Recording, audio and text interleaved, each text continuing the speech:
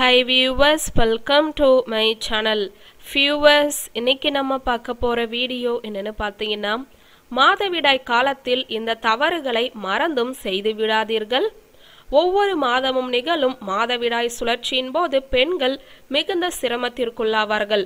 அதில் தாங்க முடியாத வயிற்றுவலி ஹார்மோன் ஏற்ற தாழ்வுகளால் மனதில் ஏற்படும் ஒருவித எரிச்சல் போன்றவை குறிப்பிடத்தக்கவை. சில பெண்களுக்கு மாதவிடாய் காலத்தில் சில விஷயங்களை செய்யலாமா கூடாதா என்ற சந்தேகம் இருக்கும். அது குறித்து மற்றவர்களிடம் கேட்கும்போது சிலர் செய்யலாம் என்பார்கள். இன்னும் சிலரோ செய்யக்கூடாது என்பார்கள். ஆகவே மாதவிடாய் காலத்தில் பெண்கள் செய்யக்கூடாத விஷயங்கள் என்னவென்று தெளிவாக இந்த வீடியோவில் பட்டியலிடுகிறேன். அதை தெரிந்து கொண்டு உங்கள் சந்தேகத்தை தீர்த்து கொள்ளுங்கள். பல பெண்கள் மாதவிடாய் காலத்தில் உடற்பயிற்சி செய்வதை தவிர்ப்பார்கள். ஆனால் அப்படி செய்வது தவறு.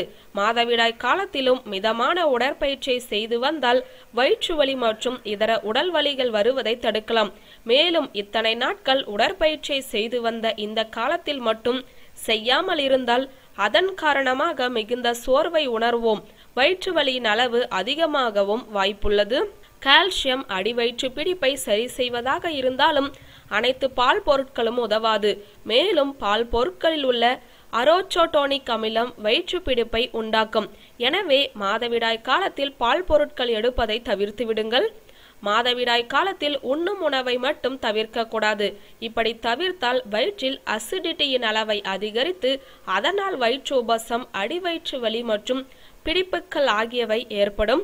சிலர் மாதவிடாய் காலத்தில் உடலுறவில் ஈடுபட்டால் கருத்தரிக்கும் வாய்ப்பில்லை என நினைக்கிறார்கள். இன்னும் சிலர் மாதவிடாய் காலத்தில் உடலுறவில் ஈடுபடக்கூடாது என்றும் சொல்கிறார்கள். இவற்றில் எது சரி? நிபுணர்களின் கருத்துப்படி மாதவிடாய் காலத்தில் சுத்தமில்லாமையால் பாதுகாப்பு இல்லாத உடலுறவில் ஈடுபடக்கூடாது என்று சொல்கிறார்கள். எனவே முடிந்தவரை இந்த காலத்தில் உறவில் ஈடுபடுவதை தவிர்த்திடுங்கள். மாதவிடாய் காலத்தில் நிறைய பெண்கள் ஓய்வு என்ற பெயரில் ஒரே இடத்தில் அமர்ந்திருப்பதோடு எதையேனும் சாப்பிட்டவாறே இருப்பார்கள். ஆனால் இப்படி எந்த நேரமும் சாப்பிட்டு கொண்டிருந்தால் உடல் பருமன் ஏற்படுவதோடு ஏழு நாட்களும் மிகுந்த சோர்வை உணரக்கூடும். மாதவிடாய் காலத்தில் உடலில் ஈஸ்ட்ரோஜன் அளவு குறைவாக இருப்பதால் இந்த காலத்தில் வேக்சிங் த்ரெட்டிங் செய்தால் கடுமையான வலியை உணரக்கூடும். எனவே இதனை தவிர்க்க வேண்டும். இன்றைய காலத்தில் நிறைய பெண்கள் மாதவிடாய் கால வயிற்று வலிக்கு அடிக்கடி வலி நிவாரணி மாத்திரைகளை எடுக்கிறார்கள். ஆனால் இப்படி மாத்திரைகளை எடுத்தால் அது ஹார்மோன்களை மோசமாக்கி உடலில் பல்வேறு பிரச்சனைகளை உண்டாக்கும். எனவே வயிற்று வலிக்கு மாத்திரைகள் எடுப்பதை தவிர்த்து இயற்கை வழிகளை நாடுங்கள். உப்புமிக்க உணவுகள் உண்பதை மாதவிடாய் காலத்தில் தவிர்க்க வேண்டும். ஏனெனில் இது வயிறு உபசத்தை ஏற்படுத்தி அசௌகரியத்தை உண்டாக்கும்.